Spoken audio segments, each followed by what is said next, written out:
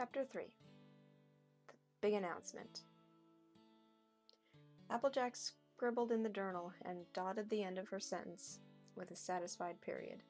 The entry was about Cranky Doodle Donkey, the pie eating contest, and how you never really know what to expect of ponies or donkeys. She was glad she'd asked Cranky to participate in the contest, even though she had been sure he'd say no. Applejack scanned the entry. Today I'll learn that sometimes even those friends with a hitch in their giddy up like Cranky Doodle Donkey like to be included from time to time. And you never know. It might just take the whole darn tootin' cake. Or pie. Applejack thought her hoof writing looked a little like chicken scratch, but all in all, it wasn't bad. She felt a wave of satisfaction wash over her. The feeling was almost as good as when she ate, sat down to dinner each night after a long, strenuous day of apple bucking. Even though it wasn't relevant, she decided to add a little more because she was so excited. After the contest, there was one more big surprise. Sweet Apple Acres is up for an award for Best Orchard in Equestria. It's mighty exciting, and my friends and I plan to get the farm ready together. Farm ready together. Yeah, I read that wrong. Derp. They each volunteered to help me for a day this week. Now all that's left is to tell the rest of the Apple family at supper. Well, that and all the hard work. Applejack! A voice called from the other room. Applejack slammed the journal shut and hollered, I'm coming, Granny. On her way out the door, Applejack grabbed her brown cowgirl hat from its peg by the door and threw it atop her head. She never liked to go anywhere without it, even if it was just to another room in the house. There were extras in the hats and bows closet, but this one was the best. It was perfectly broken in. I should have mentioned where it came from. Applejack trotted down the hallway, following the scent of something delicious. Sure enough, her nose led her straight to the kitchen. Granny Smith stood in front of the stove, stirring a big, bubbling pot of food. And where you Sir Hugh? Granny Smith asked without turning around. I just thought you wouldn't mind helping your old granny set the table for dinner.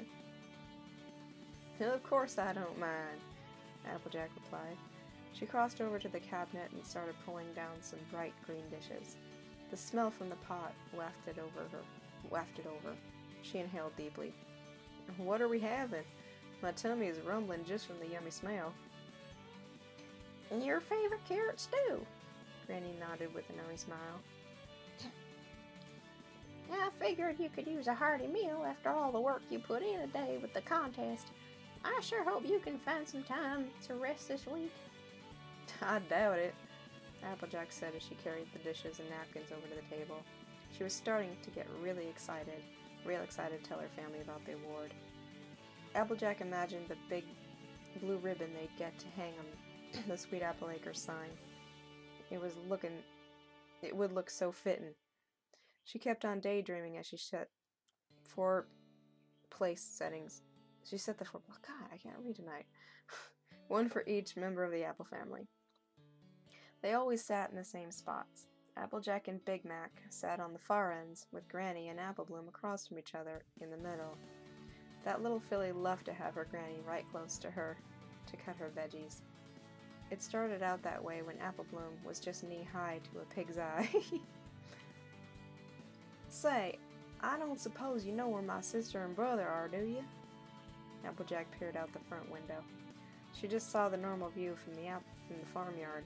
Rolling green hills, a white picket fence, and no Apple Bloom or Big Mac in sight.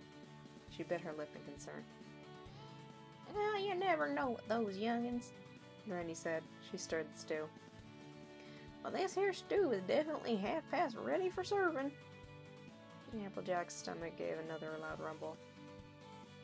I'm sure they'll be along in a minute or two, Honeycrisp. You should sit down and eat while the getting's good. Granny carried the pot over to the table and placed it on the apple-shaped trivet. She took a ladle, scooped some of the orange-colored broth into a bowl, and tried to pass it to Applejack. Tantalizing, fragrant swirls of steam billowed out. Applejack shook her head in protest. I'm mighty hungry, but I don't want to start eating without 'em. It was a tradition for the Apple family to eat dinner together every night, and every pony knew that if there was one thing that the apples cared about, it was tradition. Why, Sweet Apple Acres was practically built on it. That and a sturdy foundation of hoof chop lumber, of course. We'll wait, said Applejack, taking her seat at the wooden farm table. Let's just chat for a bit until they get home. Whatever you say. Granny raised her hooves in the air to surrender. Her knitted potholders were apple shaped, too. Applejack, you sure can be more stubborn than an old cow on a new harness, Granny said, taking a seat. So, what were you getting up? What were you getting up to when I called you down? Applejack smiled. She wanted to tell Granny about the award, but she knew the effect would be much better if she waited till the whole gang was there. Well, I was writing in this journal that I have with my friends, see? I forgot how good it feels to put something down on paper. Twenty minutes later, the stew had gone completely cold. Applejack was annoyed at first, but now she was just plumb worried. What if Apple Bloom had somehow fallen into a sinkhole and Big Mac was struggling to rescue her all on his own?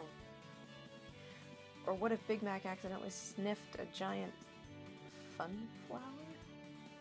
The hell's a funflower? The only plant he's allergic to. What's a funflower? I'm assuming a sunflower, but fun?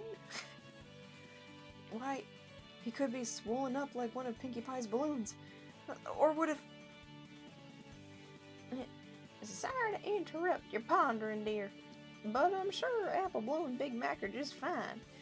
No falling into Froggy Bottom Bog or the like, Granny said. Applejack frowned and cocked her head to the side. She hadn't even said any of that out loud. Granny was good. Well, whatever it is, I hope there's a good reason, she said.